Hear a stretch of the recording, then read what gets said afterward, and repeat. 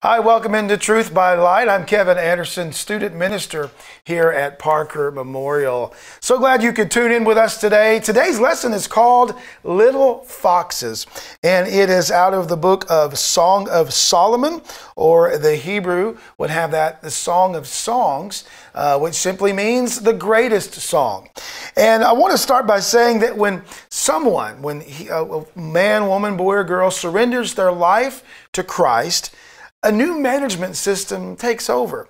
And getting used to that takes time and it takes devotion to God's word, which every day reminds me that I am now being led by the Holy Spirit and I'm no longer on the throne of my life, but God is through the presence of the Holy Spirit. God's people are challenged to live according to God's wisdom, to not our own. And that's sometimes the biggest fight that we face because we sometimes want to say, well, God, um, I think I know better. I think I've got this. So uh, take a break for today and let me take care of this. And we find ourselves in trouble. But as we're told in the Word of God in James 3 17, but the wisdom from above is first pure, then peaceable, gentle, open to reason, full of mercy and good fruits, impartial, and sincere. That is James 3:17 and we're also told in the word of God that our fear of the Lord is the beginning of wisdom for us. All that comes to play. And of course, one very important piece of God's wisdom has to do with you and I learning to wait for the Lord and to live a life of obedience unto the Lord. And when we practice that, we will see God's pattern of giving the best to his children. Now, I'll be honest with you, sometimes at first, with, with each episode, I may not perceive it as being God's absolute best for me, but down the road, I will understand. And I, I think we'll even come to agreement that, yeah, God, you knew what you were doing. Have you ever had to say that uh, later on after a situation took place? You kind of wrestled with God, but then you had to succumb to the fact that God is in charge and He did know best. You know, I, I've learned in my life that the word good is in front of the word by for a reason. There's a such thing as beneficial goodbyes. And sometimes God wants to move you away from maybe a group of people for a season so that He can teach you something. And we wrestle sometimes with that. And sometimes we may not think that's a good idea. But when we get through it and come, come beyond that moment uh, of learning, we can say, God, you knew what you were doing the whole time. So Solomon is the one God said was the wisest of all because whenever he was asked by God, Solomon, what can I bless you with? And Solomon could have said anything, but he said, I want your wisdom. And so God said, that is the wisest thing anybody has ever asked. So I'm going to bless you with that. Now, Solomon, and we give a little history here, he is King David's son. And of course, he assumed the throne once David's life was over. Solomon, much like his father, loved music. He loved poetry. And we're told in the book of First Kings that Solomon wrote a thousand and five songs. He was quite into music. And what uh, I want to ask you something today to think about this. Go back in time. What love song uh, has deep meaning for you?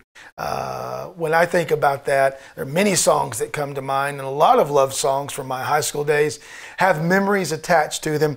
Uh, but I'll be honest, most of the love songs I used to listen to uh, were all about being impatient and being reckless, and uh, really not a whole lot of wisdom to be found in most of them. But this love song is written with great godly wisdom. I'm a parent, and some of you are parents, and you've probably told your children something along the lines of, uh, Hey, your, your hands are for holding crayons, not for hitting somebody. Uh, your teeth are for chewing, not for biting. And maybe you've even said, Your heart is for loving somebody, not for hating them. And the Word of God teaches us that our lives are made for sharing with others, not for hoarding them to ourselves. And that's why healthy relationships matter. And that's why Solomon wrote this book. In this beautiful book written by Solomon, we see the importance of making quality investments in relationships and treating relationships with honor and treating relationships with respect. And as a result, we grow in love and in the commitment to one another. Now let's look at chapter 2, verse 15. Uh, and we find these words written by Solomon. It says, Catch for us the foxes, the little foxes that ruin the vineyards, our vineyards that are in bloom. Solomon's love poem here tells a story about his romantic relationship with a woman who would become his wife. And like other love poems, it's written with a rich blend of literal and figurative language. And interpreting parts of this poem and in the entire book of Solomon can be kind of challenging. But I think the wisest approach to interpreting this verse starts with an understanding that God's people who live according to God's wisdom actually protect their relationships with each other. And guarding relationships becomes necessary, especially when you realize that there are predators and those predators come in to destroy relationships. And even the world today is against the family unit. You can watch television and we're mocked. And even in songs today, because of bitterness and because of unresolved pain, the whole family unit, a man and a woman, it's being mocked and made fun of. And all that goes back to the devil himself, who hates anything that brings God glory. And so the devil wants to send in those foxes to rob. But in the Song of Solomon, we see that the relationship between a husband and wife is susceptible to predators. That, that in, in lack of better terms, basically gnaw at a couple's devotion to each other. And for that reason, a wise Christian couple makes guarding their marriage a high priority. Let's read the verse one more time. Catch for us the foxes. Notice this right here the little foxes that ruin the vineyards, our vineyards that are in bloom.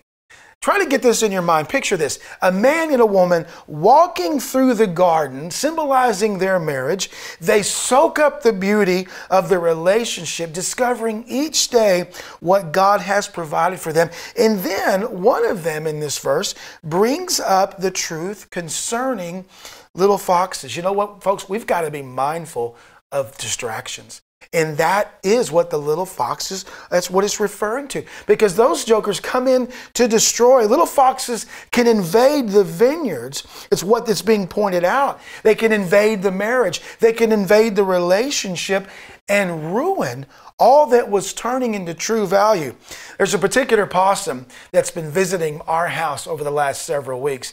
And this little joker is sneaky because he knows we have a cat. We feed the cat. The cat does not like to be inside.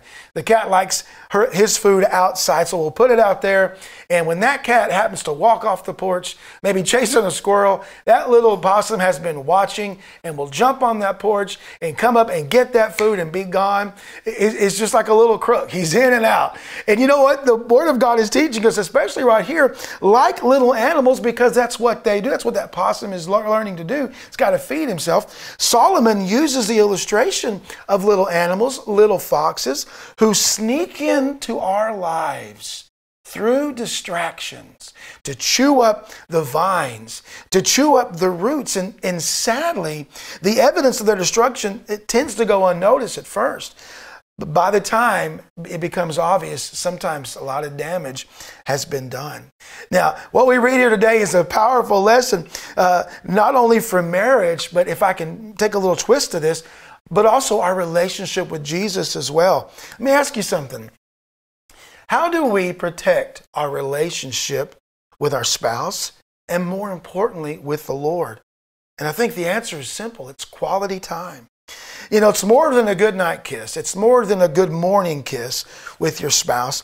It's the same as it's more than grabbing a quick verse while you're heading out the door uh, or each night before you turn in for bed. While God's word is powerful enough to give you some fuel, even when you just read a verse or two here and there, but honestly, it's quality time set aside on a daily basis where it's just you and God.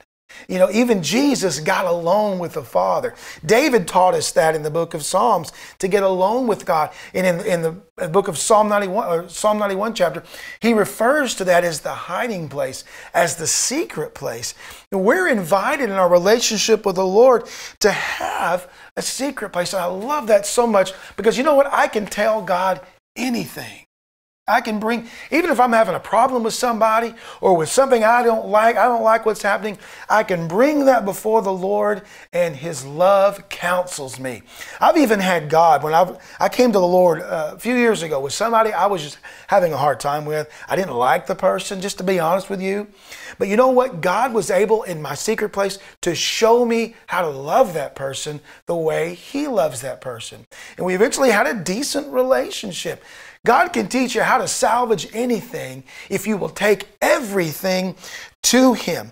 And that's the most beneficial thing about a relationship with the Lord while we're still here on earth. If I will include Him in my plans, in my, my, my hurts, if I will include God in my pain, in my problems, in my issues, simply make Jesus Lord of my life, um, that means whatever I do, whatever I see, whatever I think, whatever I dream, whatever I face, I will get the most out of each experience because God does not waste a problem. He does not waste an issue. There's not one thing in your life that God says, you know what, there's nothing I can do with that, let's throw it away. He can take everything and make something out of it. The Bible says He gives us beauty for ashes. And all we've got to do is surrender, learn to surrender, and learn to talk to God, have communication with Him, just like we're talking now. Just sit and talk and listen to what his word anything you face in life can is already dealt with because most of what we face, face in life has to do with our response to emotions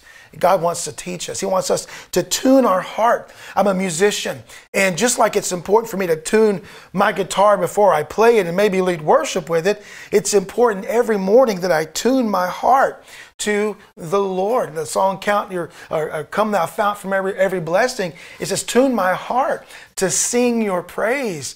And if I'm not in tune with God, I'm not going to be looking for Him throughout the day, and I'm certainly not going to be singing His praises.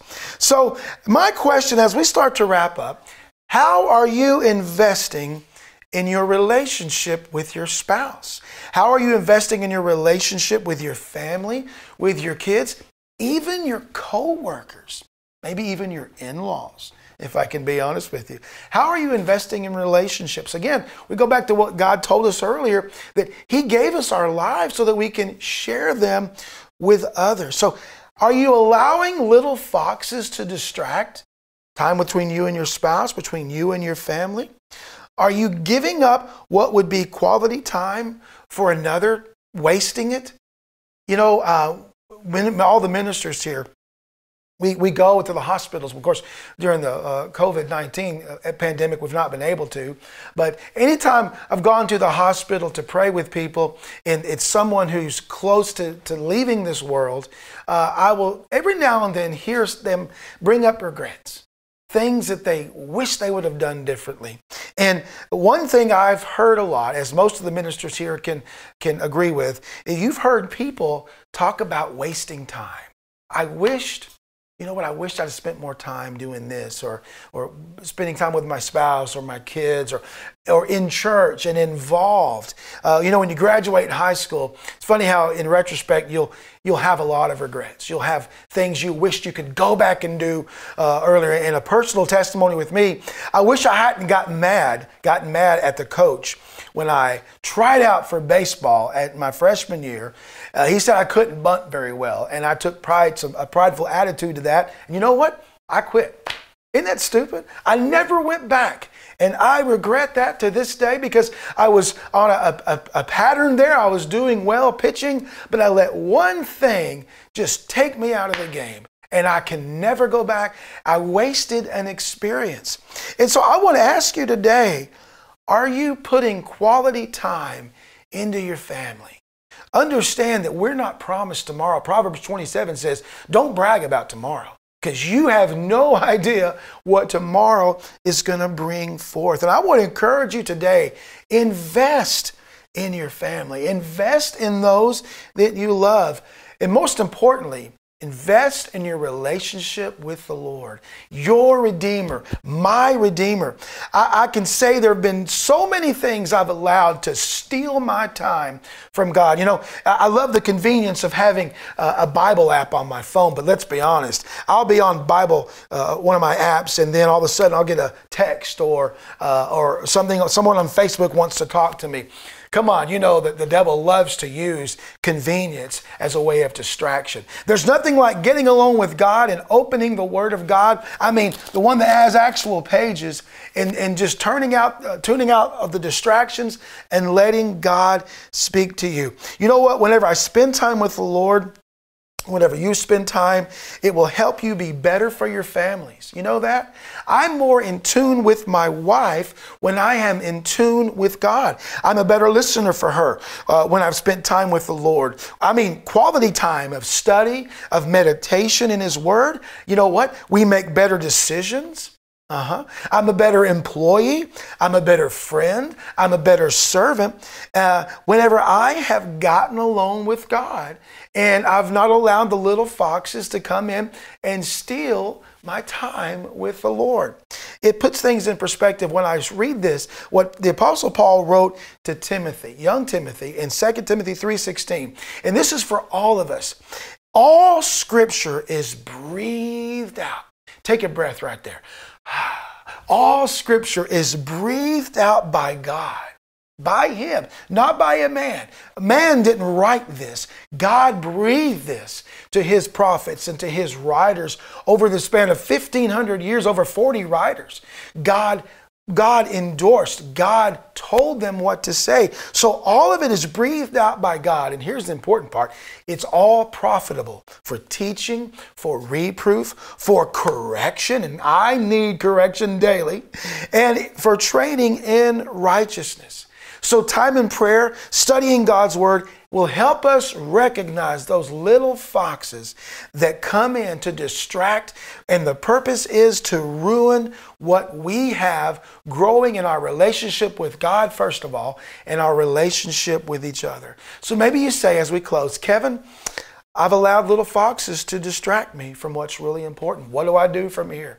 Well, the first thing is get alone with God and repent Seek the Lord's forgiveness. He's ready to forgive us because He knows this is going to be something we deal with every day. And that's why His grace is abundant. His grace is so rich for you and I. And I have to draw from that every day. I get alone and get alone with God today and say, Lord, I, I, I want to change. And you know what's also important to do? Seek forgiveness from others. If you know you've neglected your spouse, you've neglected your children, Get along with them. You know what, what I love so much uh, is, is when my father would get, a, get the kids into the room one day and he, he apologized for a couple of things here and there. Boy, that just connected me with him, that he was a real person. Moms and dads, we need to admit when we're wrong about something, confess and say, look, uh, get rid of the prideful spirit. What will help you connect and bridge a connection with your children is when you can be real with them and say, I messed up. And so my kids hear me tell them that a whole bunch. Uh oh, I made a mistake. I was wrong about this. I told them some, my, my daughter about a, a math problem last night. I had no idea what she was doing, but I sit there and try to act like I did. And I eventually had to say, you know what? I ain't got a clue how to solve this. You're going to have to ask your teacher, let's Google something. All right? Be honest when you don't know what you're talking about. It doesn't make you look better to pretend. I mean, we look even we look ridiculous when we think we've known something and then we end up failing, right? So from the get go, say, girl, I don't have a clue, but we're going to figure this out. Be honest with one another. So if God is speaking your heart and you know when He is, when you need to go apologize to somebody, say, look, uh, you know what? I've not spent quality time with you. You know what kids love more than gifts? Time. Uh, I, you know, I could buy my kid, uh, my son, this or that. He loves it when we go out in the, in the garage and or out into the uh, driveway and just shoot basketball. That he'll never forget that because one day I'm going to be dead and gone. And I hope he has memories of, not of a dad that bought him things, but a dad that spent time with him. And so I want to encourage you today. Look around. Ask God to open your eyes. Are there little foxes that are distracting, stealing you at the root, stealing you at the vine, uh, what God is wanting to produce in you. I encourage you today, get alone with the Lord, ask forgiveness, and as He brings people into your mind, call them. Go see them. Don't text them. Call them. At least let them hear your voice and say, I'm sorry, I've not spent quality time with you. You know what Jesus said in Matthew 6? He said, Seek first the kingdom of God his righteousness, and all these things shall be added unto you. God is a God of order. And whenever I put him first, I will recognize the devil's scheme of robbing me. And I don't know about you, I've been robbed by the devil many times, and I don't want that anymore. And so God's word is a shield for us. He wants us to apply that so that we can have the abundant life and get the best experience of our walk with Christ as we continue. And I encourage you to take every day as a gift. Uh, and it, it's, a, it's a wonderful thing. God's blessed you with today. If you're watching, you're listening to this, you've got another opportunity to grow in your relationship with God. Don't let the little foxes rob you.